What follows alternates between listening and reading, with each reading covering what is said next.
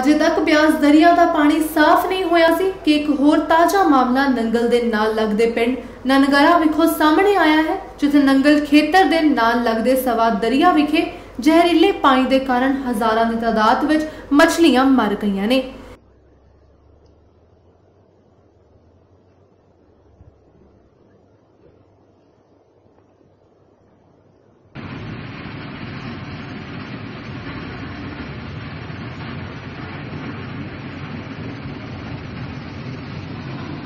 ਇਸ ਦੇ ਨਾਲ ਹੀ ਪਿੰਡ ਵਾਸੀਆਂ ਵਿੱਚ ਦਹਿਸ਼ਤ ਦਾ ਮਾਹੌਲ ਪਾਇਆ ਜਾ ਰਿਹਾ ਹੈ ਅਤੇ ਲੋਕ ਦਰਿਆ ਤੇ ਆਪਣੇ ਮਵੇਸ਼ੀ ਲੈ ਜਾਣ ਤੋਂ ਡਰ ਰਹੇ ਨੇ। ਦੇਖਿਆ ਜੀ ਇੱਥੇ ਮੱਛੀਆਂ ਤਾਰ ਰਹੀਆਂ ਜੀ ਇੱਕ ਤਾਂ ਪਾਣੀ ਇੰਨਾ ਜ਼ਹਿਰੀਲਾ ਫੈਕਟਰੀ ਦਾ ਆ ਗਿਆ ਜੀ ਇਸ ਕਰਕੇ ਮੱਛੀਆਂ ਬਹੁਤ ਮਰ ਗਈਆਂ ਤੇ ਦੂਜਾ ਇਹ ਆ ਜੀ ਇੱਥੇ ਜੋ ਵੀ ਡੰਗਰ ਆ ਰਿਹਾ ਡੰਗਰ ਨੇ ਪਾਣੀ ਪੀ ਲਿਆ ਤਾਂ ਉਹ ਵੀ ਮਰ ਸਕਦਾ ਜੀ। ਜਦੋਂ ਆਪਾਂ ਸਵੇਰੇ ਹੁਣ ਅਸੀਂ ਤਾਂ ਪਸ਼ੂ ਲੈ ਕੇ ਆਏ ਇੱਧਰ ਘੁੰਮਣ ਫਿਰਨ ਤੇ ਉਹਦੇ ਮਤਲਬ ਦੇਖਿਆ ਤਾਂ ਪਾਣੀ ਜ਼ਹਿਰੀਲਾ ਪੂਰਾ